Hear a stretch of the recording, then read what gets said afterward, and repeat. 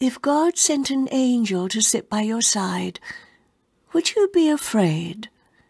Would you quiet yourself so as not to offend? Would your eyes be wide with fear, with disbelief? Not really.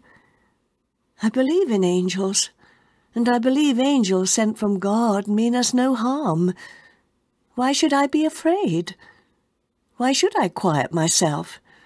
Who would I offend? You need not be afraid of God's angels, Mercy. You must only fear offending God himself. But if you could see the angel, you wouldn't be afraid even then.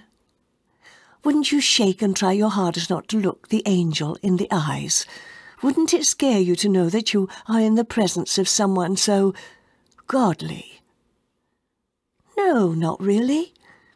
It would have to be beautiful, wouldn't you think?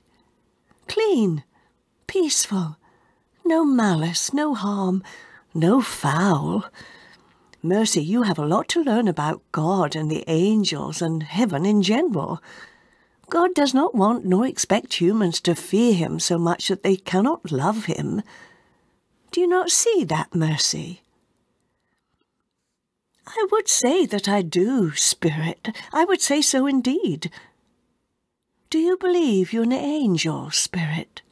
Do you believe that God has sent you to earth for a specific reason, or to just be interviewed by me?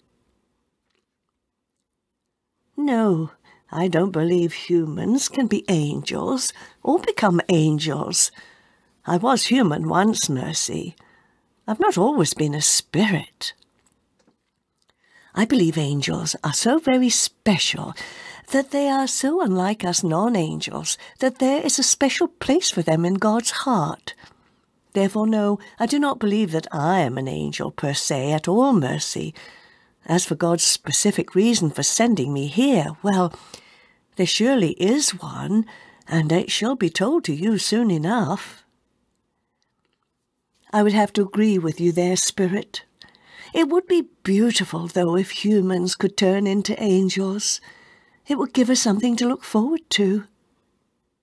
Do you understand? Does that make sense, Spirit? But angels cannot be from earth. Earth is too, let's say, dirty. Well, if you don't believe you are an angel spirit, then what would you call yourself? I mean, you are dressed all in white, and you do smell of lavender and honeysuckle. You are paler than the palest ghost, and have a glow about you that cannot be explained logically. Spirit took a moment to ponder her answer. She glanced up to the heavens, then to the earth below her feet, and then back to Mercy. Mercy, if I were to say I was an angel, I would be lying. But if I was to say I wasn't, I would be lying then too. I cannot answer your question in a way that you could understand. Therefore, I will not answer you at this time. I shall consult with my Lord on how to answer you. Read by Linda Roper